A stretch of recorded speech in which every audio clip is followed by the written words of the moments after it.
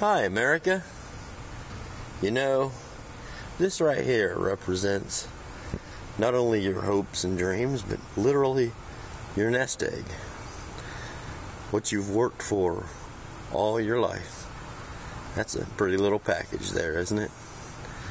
And well, this here, this corporate greed. Pretty little package. Corporate greed.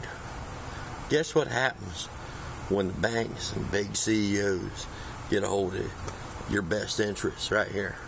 This is what happens. Oh, now that's a sad situation, isn't it? You know, you're probably already one of the 99%. So I urge you to make your voice heard. Do what you can do. If you can't make it to Wall Street, make it to your hometown. Make some videos. Stand up and be heard. Only the squeaky wheel gets the grease.